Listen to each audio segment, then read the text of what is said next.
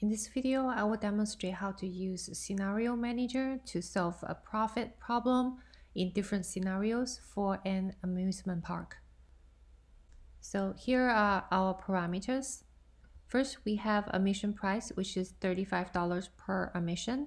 Then we have the number of admissions. For example, I have 1600 admissions. In addition to the regular admission, I also have season pass holders. For example, the number of season pass holders admitted is 3000. Once the admitted uh, and season pass holders go into the park, they will spend money on uh, rides, food or toys, souvenirs, etc. So the average expenditure for admissions is $45 per person and the average expenditure for season pass holders is $15 per person. I also have a cost of operations, which is $33,000. I also have a cost of the goods, and that's represented in percentile, and that's 50% of the goods sold. So 50% of the total expenditure of admissions plus expenditure of season pass holders. Next, in our spreadsheet model, we're going to calculate the profit. So in order to calculate the profit, we need to know the revenue and the cost. So the revenue for admission is the number of the admissions multiplied by the admission price per person. And then the season pass holders expenditure revenue is the number of the season pass holders admitted multiplied by the average expenditure for season pass holders. And then next I have the admission at uh, expenditure revenue, which is the number of missions multiplied by the average expenditure admissions per person. So I add them all up, then I have the total revenue. And then I have the cost of operations, which is $33,000. And then I have the cost of goods, which is 50% multiplied by the sum of the expenditure of season pass holder and the expenditure by the admitted guests. So then I add these two together, I have the total cost. And now the profit would be the total revenue minus the total cost. So I actually use the numbers for partly cloudy day. So in reality, I have three different weather scenarios.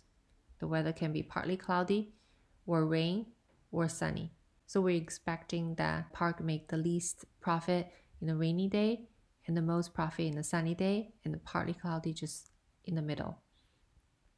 So we can use the Excel scenario manager to calculate the profit under multiple scenarios. Let's take a look. Under data, what if analysis scenario manager, I already entered two scenarios, partly cloudy and rainy. So I'm going to add the third one, which is sunny, to show you how I created the scenarios. So I'm gonna give it a name, sunny. And then I'm going to specify the parameters. So the admission price, $35 per person, will remain the same regardless of the weather. So, such as in Disneyland, they wouldn't lower the ticket price because of the rainy day or increase the price because it's sunny day. Similar practice. So, what can be changed is the parameter of the number of admissions, number of season pass holders admitted, and average expenditure for admissions and season pass holders. And also cost of operation. So, I'm gonna using a Mac, I'm gonna press down the command. So I select all these uh, cells is because next step, in the next step, I will going to enter the actual value for that scenario, Sunny. So I click OK. And now I just need to make sure the number to enter the number. So B6, that is the number of admissions under Sunny. I have 2400 admissions. And then for B7, that's number of season pass holders admitted.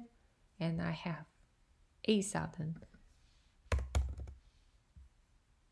And then for B8, that is the average expenditure admission, which I have 57. And then the B9, which is average expenditure for season pass holders, and I have 18. last I have B12, which is the cost of operations for sunny days is $37,000. So I enter all the values for the sunny day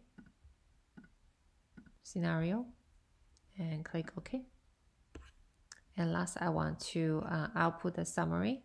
So I click the summary and I want to specify the result cells is the profit. So that way we'll calculate the profit given by the parameter values I give under each scenario and click OK. This will create a new data sheet and it will show that three scenarios, their parameter values copied and then their profit calculated. We can see that on rainy day, the park actually make negative, meaning that it costs more to run than the revenue that it earned. Partly cloudy day, it's okay, and then it's the most profit in the sunny day. So this results make sense because people love to go to amusement park on a sunny day.